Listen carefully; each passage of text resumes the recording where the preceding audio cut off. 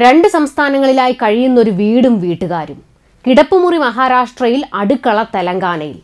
കേൾക്കുന്ന നമുക്ക് കൗതുകം തോന്നും. എന്നാൽ ഞാൻ ഏത് സംസ്ഥാനക്കാരനാണെന്നാണ് വീട്ടുടമസ്ഥന്റെ ചോദ്യം. പക്ഷേ രണ്ട് സംസ്ഥാനങ്ങളിൽ നിന്നും ആനുകൂല്യങ്ങളും കിട്ടുന്നുണ്ട്. രണ്ട് സംസ്ഥാനങ്ങൾ തമ്മിലുള്ള അതിർത്തി തർക്കത്തിന് നടുവിലാണ് ഈ വീട്. മഹാരാഷ്ട്ര തെലങ്കാന അതിർത്തിയിലെ ഒരു വീട് ഇപ്പോൾ ശ്രദ്ധേയമാവുകയാണ്. ചന്ദ്രാപൂരിലെ മഹാരാജഗുഡ ഗ്രാമത്തിലുള്ള ഈ വീട് ഇരു സംസ്ഥാനങ്ങളിലുമായിട്ടാണ് സ്ഥിതി ചെയ്യുന്നത്. വീടിന്റെ മധ്യഭാഗത്തു കൂടിയാണ് അതിർത്തി കടന്നു പോകുന്നത്. ചുരുക്കി പറഞ്ഞാൽ ഭക്ഷണം ഉണ്ടാക്കുന്നത് തെലങ്കാനയിലും കിടന്നുറങ്ങുന്നത് മഹാരാഷ്ട്രയിലും. മേഘാലയ അസം അതിർത്തി തർക്കത്തിനും അസം മിസോറാം അതിർത്തി തർക്കത്തിനും ശേഷം കേന്ദ്രത്തിന് പുതിയ തലവേദനയായി മാറിക്കൊണ്ടിരിക്കുകയാണ് തെലങ്കാന മഹാരാഷ്ട്ര അതിർത്തി തർക്കം. എന്നാൽ കേന്ദ്രത്തെക്കാൾ വലിയ തലവേദനയാണ് ഈ വീട്ടുകാർ നേരിട്ടുകൊണ്ടിരിക്കുന്നത്. അതിർത്തി തർക്കം മൂർച്ഛിച്ച് ഇനി അടുക്കള തെലങ്കാനക്കാരും കിടപ്പുമുറി മഹാരാഷ്ട്രക്കാരും കൊണ്ടുപോകുമോ എന്ന ഭയത്തിലാണ് ഈ വീട്ടുകാരുള്ളത്. എട്ട് മുറികളുള്ള ഈ വീടിന്റെ നാല് കിടപ്പുമുറികൾ മഹാരാഷ്ട്രയിലും നാലെണ്ണം തെലങ്കാനയിലുമാണ്. ഞങ്ങൾ പതിമൂന്ന് പേർ ഇവിടെ താമസിക്കുന്നുണ്ട്. എന്റെ സഹോദരനും കുടുംബവും തെലങ്കാനയിലുള്ള നാല് മുറികളിലായിട്ടാണ് താമസിക്കുന്നത്. ഞാനും എന്റെ കുടുംബവും മഹാരാഷ്ട്രയിലെ നാല് മുറികളിലും. ഞങ്ങളുടെ അടുക്കള തെലങ്കാനയിലാണ് സ്ഥിതി ചെയ്യുന്നത്.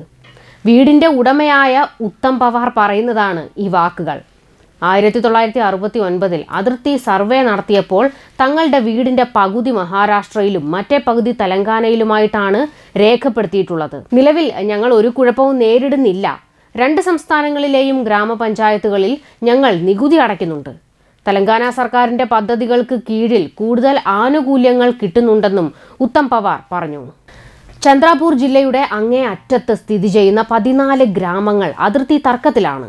തെലങ്കാന മഹാരാഷ്ട്ര സർക്കാരുകൾക്ക് ഈ ഗ്രാമങ്ങൾക്ക് മേൽ അവകാശവാദം ഉന്നയിക്കുന്നുണ്ട്. ഇരു സംസ്ഥാനങ്ങളിലെയും പഞ്ചായത്ത് ഓഫീസുകൾ അങ്കണവാടികൾ സ്കൂൾ ആശുപത്രികൾ മറ്റ് ആനുകൂല്യങ്ങളെല്ലാം ഈ ഗ്രാമങ്ങളിലുള്ളവർക്ക് കിട്ടുന്നുണ്ടെന്നാണ് ഇവരുടെ ആശ്വാസം. തെലങ്കാനയും മഹാരാഷ്ട്രയും തമ്മിലുള്ള അതിർത്തി തർക്കം ഒരിടവേളയ്ക്ക് ശേഷം രൂക്ഷമായി കൊണ്ടിരിക്കുകയാണ് തർക്കത്തിൽ കേന്ദ്ര സർക്കാരിനും ഇടപെടേണ്ടി വന്നു. ഇരു സംസ്ഥാനങ്ങളിലെയും മുഖ്യമന്ത്രിമാരെ വിളിച്ചു വരുത്തിയ ആഭ്യന്തരമന്ത്രി അമിത് ഷാ സുപ്രീം കോടതി വിധി വരുന്നതുവരെ കാത്തിരിക്കണമെന്ന് ആവശ്യപ്പെട്ടിട്ടുണ്ട്. മേഘാലയ അസം അതിർത്തി തർക്കത്തിനും അസം മിസോറാം അതിർത്തി തർക്കത്തിനും ശേഷം കേന്ദ്രത്തിന് പുതിയ തലവേദനയായി ഇത് മാറിക്കൊണ്ടിരിക്കുകയാണ്. എന്നാൽ മഹാരാഷ്ട്രയെക്കുറിച്ച് പറയുമ്പോൾ പവാറിന് അത്ര വലിയ മമതയൊന്നുമില്ല. തെലങ്കാന സർക്കാരിൽ നിന്നാണ് തനിക്ക് കൂടുതൽ ആനുകൂല്യങ്ങൾ ലഭിക്കാറുള്ളതെന്നാണ് ഉത്തം പവാർ തുറന്നു പറയുന്നത്. തെലങ്കാന സർക്കാരിന്റെ പദ്ധതികളാണ് മെച്ചം. അവരാണ് തനിക്ക് ആനുകൂല്യങ്ങൾ നൽകുന്നതെന്നും പവാർ വ്യക്തമാക്കുന്നു.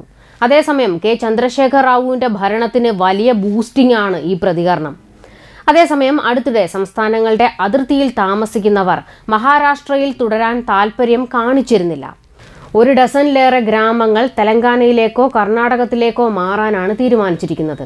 ഇവരെ മറ്റൊരു സംസ്ഥാനത്തെ താമസക്കാരായി മാറാൻ അനുവദിക്കണമെന്നും സർക്കാരുകളോട് അഭ്യർത്ഥിച്ചിരുന്നു. News desk Karma news.